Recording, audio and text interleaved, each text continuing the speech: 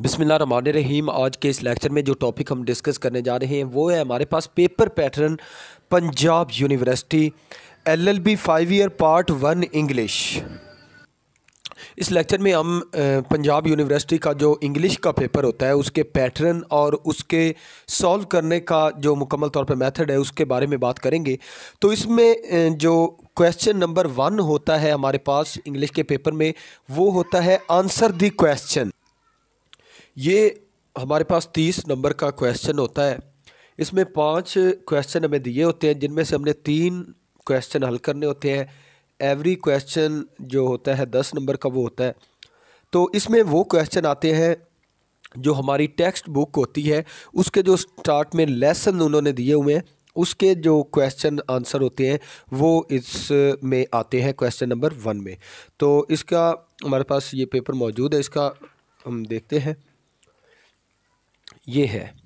इसमें ये question number one दिया हुआ है कि attempt any three of the following question इसमें एक सौ से लेकर डेढ़ सौ वर्ड्स का वो हमने जवाब देना है और दस नंबर का वो होगा। तो ये मैं नंबरिंग दी है A B C D E की पाँच, ये क्वेश्चन है, तीन हमने इसमें से करने हैं। आगे हमारे पास क्वेश्चन नंबर टू आ जाता है। क्वेश्चन नंबर टू है प्रिसाइज द पैराग्राफ इसमें हमें एक पैराग्राफ दिया गया होता है जिसकी हमने प्रिसाइज करना होता है उसका अपने अल्फाज में जो वन थर्ड करके उसको लिखना है प्रिसाइज करना है हमने अपने अल्फाज में बताना है कि उसने ये जो पैराग्राफ बयान किया है इसका आ, क्या प्रिसाइज क्या है उसको हमने वन थर्ड जो पैराग्राफ है उसका करके लिखना होता है। और ओवन वर्ड्स में अगर हम लिखेंगे तो उसे प्रेफरेंस दी जाएगी, बजाय इसके जो पेपर पर है, उसे ही शार्ट करके लिख दें। तो जिस तरह ये उन्होंने ऊपर ऐड भी किया हुआ है make precise of the following in your own English credit will be given to your own words not just copying from the question paper also suggest a suitable title इसमें हमने टाइटल भी लिखना होता है पैराग्राफ का।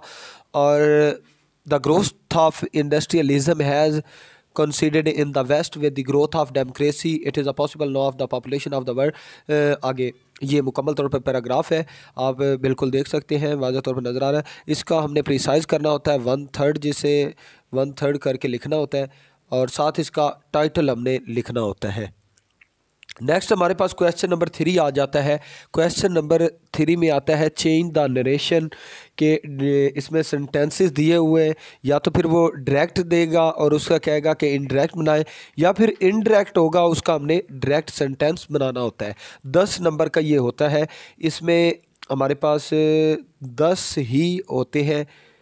तो change the narration of following इसमें ten sentences दिए होते हैं। एक नंबर का सेंट होता है, ये sentence this book is written by Richman he said I have install the new computer software इसी तरह ये आगे दस जुमले हैं जिसकी हमने नरेशन करनी है change the narration of the following तो ये क्वेश्चन नंबर थ्री है, ये भी दस नंबर का हमारे पास होता है।